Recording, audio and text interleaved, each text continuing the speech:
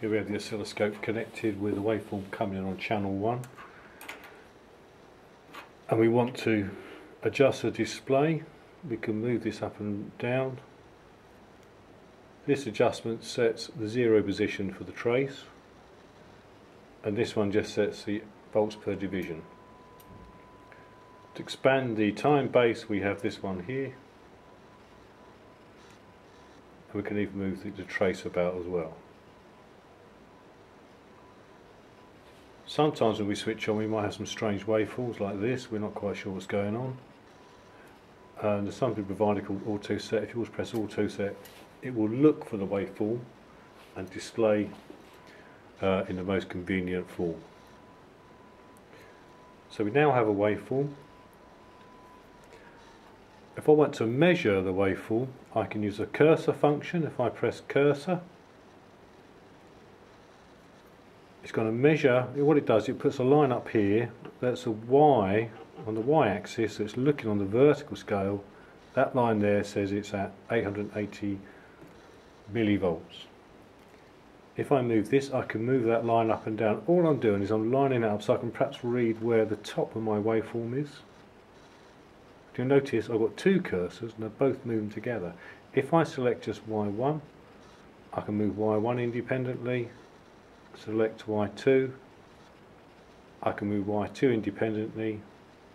And what I can do there here Y1 Y2 is actually measuring the voltage between here and here. So I've got a measurement of the peak to peak voltage. What I might want to do is also measure the time. What's the period of my waveform? So if I select go into, into the X my cursors are now X1 and I can move that along and maybe I find a point there where it crosses the axis. X2 I adjust to be where it crosses the axis again so it's one period and it's measuring the time x1 minus 620 microseconds x2 is zero pretty much. And the difference it comes out as 620 microseconds and even calculates that as a frequency. It's not measuring frequency, it's just telling you what this period is as frequency. So what can be useful here is if, if I've got a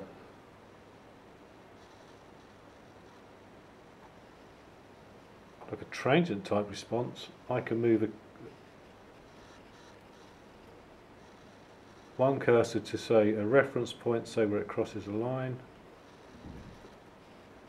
and then I can move this along.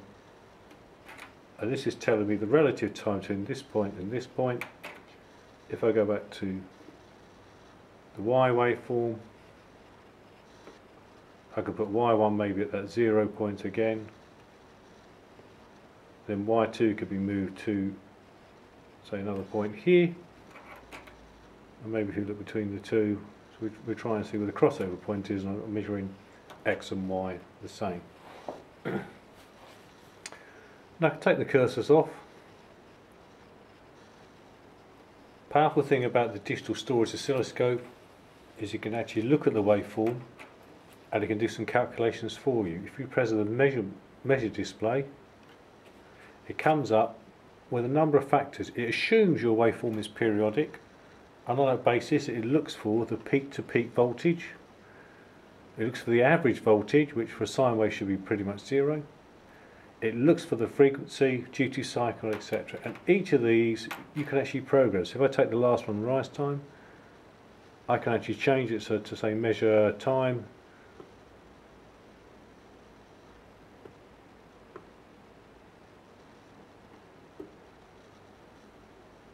Select it and I can go through this menu here and I perhaps want to say measure volts RMS previous menu now is displaying the volts RMS of this waveform 3.2 peak to peak point 9.4 9.4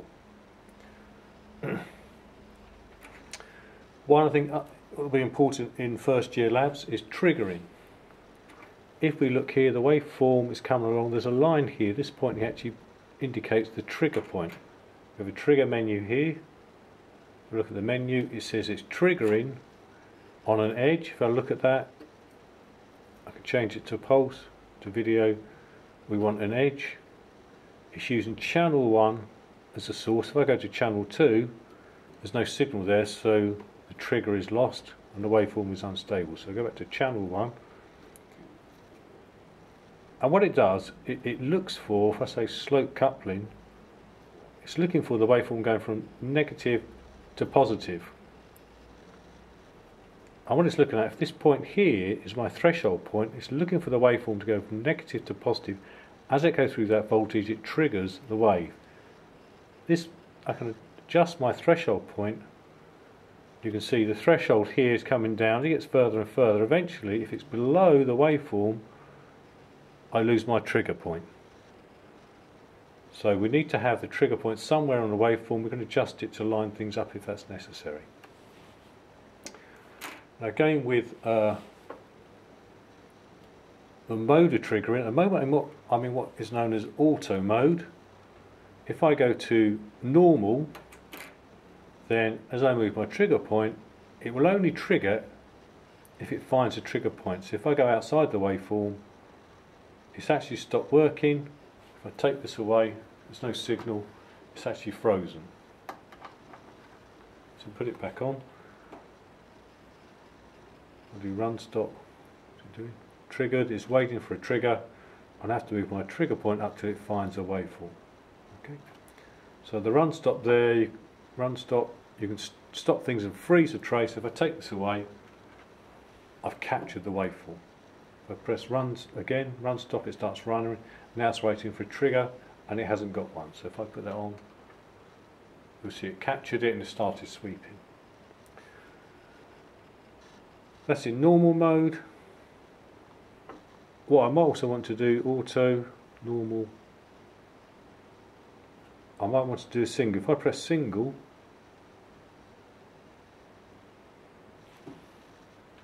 I'll take the waveform and press single, it won't do anything. What it will just trigger once. The minute I do that, and you'll see it, it triggers at that point there. In fact, it's recording data until it re receives the trigger. Once it's received the trigger, it displays all the data. And I can actually move this around and actually have a look at the waveform before and after the trigger point. You can see as I connected to this, this oscilloscope, there's a bit of glitching because as we make the connection, but then it started up. So that can be useful if you're looking at a single waveform or a transient response, you can trigger and use a single slope and you've captured the waveform.